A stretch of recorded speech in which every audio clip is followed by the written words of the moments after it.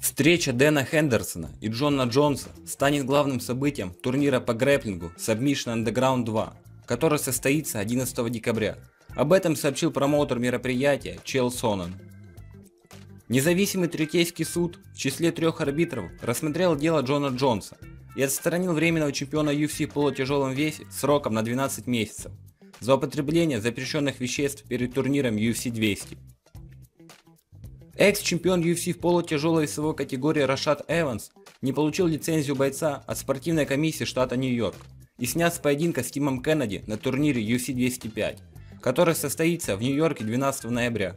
Об этом сообщает официальный сайт UFC. Причиной отказа выдачи лицензии стали медицинские проблемы.